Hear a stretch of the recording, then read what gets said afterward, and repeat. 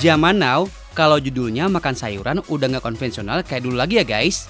Kesan boring dan biasa aja, udah makin ditinggal berkat adanya menu-menu olahan sayuran yang kekinian banget. Salah satunya yang ini guys, salad wrap modern. Sayuran beraneka warna ini diolah dengan berbagai aneka dressing yang tampilannya jadi kelihatan lebih seger. Bisa jadi alternatif buat kalian yang pengen makan sehat plus praktis. Di kota Surabaya, ada juga salah satu restoran serba sayur organik. Itu loh guys, sayuran yang dibudidayakan tanpa bantuan bahan kimia. Beuh. Dalam satu genggam salad wrap ini, kalian bisa pilih 5 sayuran, satu topping, plus satu dressing. Kalau menurut ahli nutrisi, lebih baik pilih sayuran dan produk nabati yang berwarna ya, biar kalian dapat semua nutrisi yang dibutuhkan tubuh. Soalnya, masing-masing warna pada sayuran punya manfaat tersendiri untuk kesehatan. Misalnya warna hijau, Selain berfungsi untuk menghambat pertumbuhan sel kanker, juga membantu memproduksi sel darah merah. Juga warna oranye pada wortel yang kaya akan vitamin A bisa membantu untuk menjaga kesehatan mata nih guys. Kalau warna ungu mengandung pigmen antosianin dan flavonoin yang bisa berfungsi sebagai antioksidan. Ngomongin tentang organik nih, ada satu kampung di daerah Mojokerto, Jawa Timur yang kesemua lahan rumahnya dimanfaatkan untuk pertanian organik.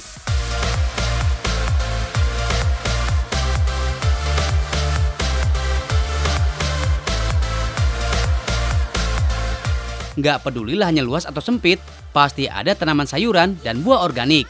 Hasil sayurannya dijual hingga ke supermarket dan dapat sertifikat organik loh.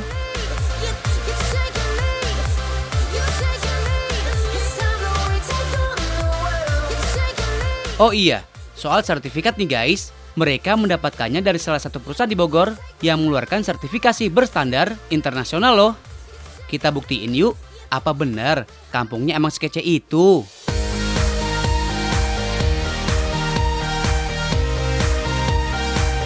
Dari sinilah bibit-bibit yang digunakan oleh warga berasal. Namanya rumah sayur organik yang biasa disingkat dengan RSO. Rumahnya pakai tenda atap plastik ultraviolet dan jaring sebagai dindingnya.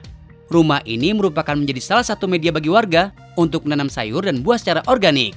Makanya wilayah sini jadi dikenal sebagai kampung organik desa Berenjong.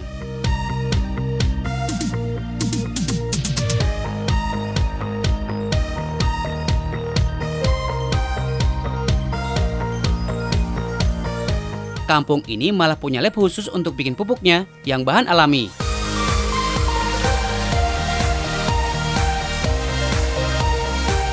Tuh lihat, pupuknya berasal dari daun-daunan yang diambil dari sarinya.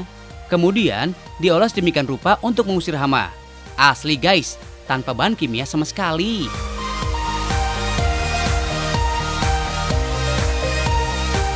Kalau dulu, lahannya memang pernah dikasih bahan kimia guys. Makanya masyarakat di sini membutuhkan kurang lebih 2 tahun untuk mengubah tanahnya menjadi organik. Karena sayur atau buah apa pun yang ditanam di tanah organik, hasilnya juga berupa organik.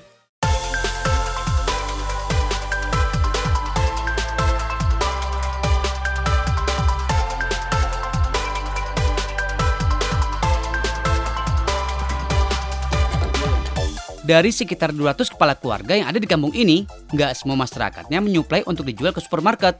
Ada juga yang hanya dikonsumsi sendiri. Asik banget ya hidupnya. Kalau kehabisan sayur, tinggal petik di halaman. Beres deh.